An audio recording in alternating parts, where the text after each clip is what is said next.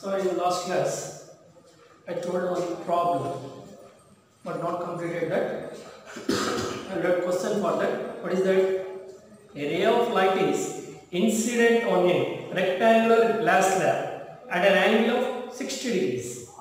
Find the values of angles of refraction at the two parallel surfaces. Here, refractive index is given that refractive index of glass, uh, not glass, refractive index, uh, yes, glass. Refractive index of glass is given that 3 by 2. Now, here first of all we have to calculate the R value. So in parallel surfaces what happens? Both angles must be equal. So one value we have to calculate, other one also be same. So first we have to calculate refractive index of uh, uh, refracted angle. That is, we can apply Snell's law. So according to Snell's law, according to Snell's law, n1 sin i is equal to n2 sin r. So here r is taken as r1 instead of r to taken as r1. Now from it will be enter from A to glass. So A to glass means refractive index of glass will be taken as 3 by 2. A is 1. That constant value. Remember that is not given in the question. To remember in your minds that value will be 1. So 1 into sine i. i is given that 60 degrees. Sine 60 degrees is equal to n2. n2 is given that 3 by 2 into sine r1. Into sine r1. So sine 60 value will be this value of sine 60 degrees to be taken as root 3 by 2. Root 3 by 2. So will send these values to your phone. So I have observed that table you get this value. The sine angle of 60 degrees is equal to 3 by 2 is equal to 3 by 2 into sine r1. So 3 1 into means you get 3 by 2 is equal to 3 by 2 into sine r1. Now send this value this side. What do you get? Root 3 by 2 into 2 by 3 is equal to sine r1. Now here 2, 2 gets cancelled. What do you get? Root 3 by 3 is equal to sine r1. To rationalize this value means root 3 by 3 into root 3 by root 3 rationalization it is sine r1 so to get root 3 into root 3 means 3 3 by 3 root 3 is equal to sine r1 3 3 gets cancelled what is remaining 1 by root 3 is equal to sine r1 so send r1 this side what do you get r1 is equal to sine inverse of 1 by root 3 sine inverse of 1 by root 3. I told you by seeing that tables only you have these values. If that book is not available for us, that's why I only to write that with uh, trigonometrical value 1. That is sine inverse of only to write that. Therefore, two values are equal. That is R1, 2 R2 comes out from parallel surfaces. That's why R1 is equal to R2. That is equal to sine inverse of 1 by root 3. This is the angle of refractions of two parallel surfaces. So two, two parallel surfaces angle of refractions are equal to sine inverse of 1 by root 3. That's all. Okay. So here also to apply the Snell's law. Here remember that only very simple applications here. One is refractive index of the medium n is equal to c by v value 1. Another one will be Snell's law n is equal to sin i by sin r will also be there. That one and this law. The both are said to be the Snell's law. Here n1 sin a is equal to n2 sin r we have to consider. Okay, simple applications will be there here. Right? Next uh, problem we have to see that a ray of light is incident on rectangular glass slab of thickness 3 centimeters at an angle of 60 degrees. Find the lateral shift if the angle of uh, refraction is 30 degrees. So angle of refraction and uh, angle of incidence are given. Now we have to calculate uh, lateral surface value. Here two surfaces are considered. One is lateral surface, another one is to be the vertical shift. Vertical shift and lateral shift. Here lateral shift value we have to calculate. By calculating that, first of all, question I will write. So I think this is the ninth question. So what is this question here? A ray of light is incident. A ray of light is incident. A ray of light is incident. Rectangular glass slab. Incident on a rectangular glass slab.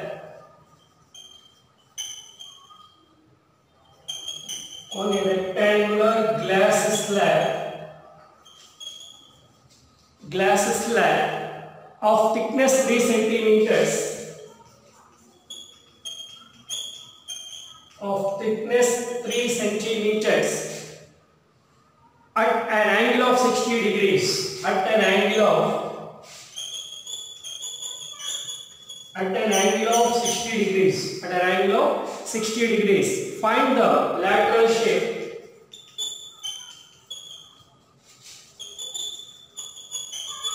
find the lateral shift if the angle of refraction is 30 degrees if the angle of refraction is 30 degrees this is the question now in this we have to apply the formula for thickness and angles are given. For lateral shift one of the formula will be given. That is lateral shift lateral shift lateral shift to taken as yes x is equal to thickness into t means thickness thickness into into sine i by sine or sine i minus sine or thickness into thickness into sine of i minus r by cos r. Cosine need to be considered. Cos ratio to be taken. Sine r by cos r to be taken. So this is the application. In this thickness value is given as 3 is given as 3 centimeters. 3 centimeters will be given. And incident angle will be i is equal to 60 degrees and r is equal to 30 degrees. For both cases sine and cos values will be same. For both cases r value will be 30 degrees. Then we can calculate the shift value x is equal to how so once again recall the formula x is equal to t into sine of i minus r by cos r. Now that is equal to 3 into sine of 60 minus 30 by cos 60 cos 30 sorry cos 30 that is equal to 3 into sine 30 60 minus 30 means sine 30 by cos 30 so 3 into that is equal to 3 into sine by cos is equal to tan both angles are same sine theta by cos theta is equal to tan theta so here tan 30 degrees because hence sine by cos. Sine by cos is equal to tan. Remember that is the trigonometrical formula is also sine by cos is equal to tan, cos by sine is equal to cot also. so here to consider sine by cos value taken as tan. So the value of tan 30 is 1 by root 3. The value of tan 30 is 1 by root 3 that is equal to 3 into 1 by root 3. Why? Because hence tan 30 value remember that tan 30 value is equal to 1 by root 3 so had observed in trigonometrical table I had values table you get that now what you get here 3 by root 3 so 3 by root 3 to rationalize root 3 into root 3 by root 3 what you get that is equal to 3 root 3 by 3 3 3 gets cancelled that is equal to root 3 so what is the value of x root 3 centimeters you get. So lateral shift value will be root 3 centimeters. So here trigonometrical values will be important and applications also important. Here is the formula, lateral shift formula. T into sine of i minus r by cos r. That is angle of refraction. T value 3 centimeter, I value 60, R value 30, then shift value can calculate x. x is equal to T into sine of I minus R by cos R.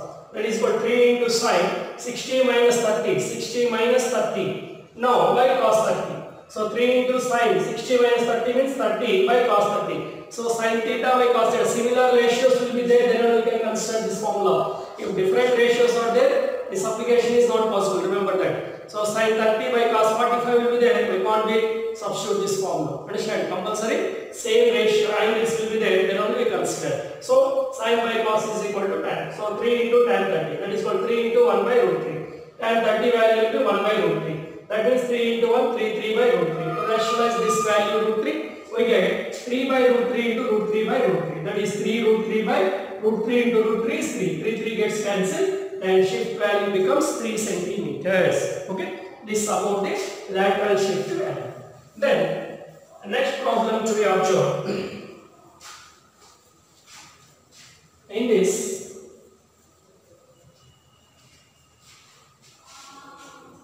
In this, I have to calculate the area of light is traveling from glass to water. Glass to water, remember that, glass to water. What is the angle of incidence for which the ray becomes back into the glass? Again it comes back. Then what is the angle of refraction will be takes place. What is the, sorry, not refracted, incident angle to be calculated. Okay, so here what is given thing? What are the given values? A ray of light traveling from glass to water. So a ray of light, a ray of light traveling, traveling from glass to glass to water, glass to water. What is the angle of incidence? What is the what is the angle of incidence what is the angle of incidence uh, for which the for which the for which the ray for which the ray between uh, the for which the ray becomes back into glass for which the ray becomes back into the glass. So back into the glass means what is the condition we need? 90 degrees angle will be there then only it enters into. Understand or not? To observe its figure. So it is some angle of incidence will be takes place. This angle of incidence value had to calculate. So it will be 90 degrees. Then only the ray comes back. So it is a glass and is water will be considered. The refracted ray will becomes black means what is this? Here it will be wakes at 90 degrees. See 90 degrees angle chasing water comes back. It will be comes back. That's why refracted angle will be taken as 90 degrees. And shed here refractive index of glass is given by glass. Glass is given by 3 by 2 and refractive index of water is given by 4 by 3. So by applying Snell's law, so here also according to Snell's law, according to Snell's law, n1 sin i is equal to n2 sin r. So what is n1 value? 3 by 2. 3 by 2 sin i. I value had to calculate by 4 by 3 sin 90 degrees. Sin 90 value will be 1. So 3 by 2 sin i is equal to 4 by 3 into 1. Hence sin 90 degrees is equal to 1. Sin 90 degrees value equal to 1. Therefore 1. send this value this side and send sin i. Otherwise send this value that side. What do you get? Want to calculate i value? Sin i is equal to 4 by 3 into 2 by 3.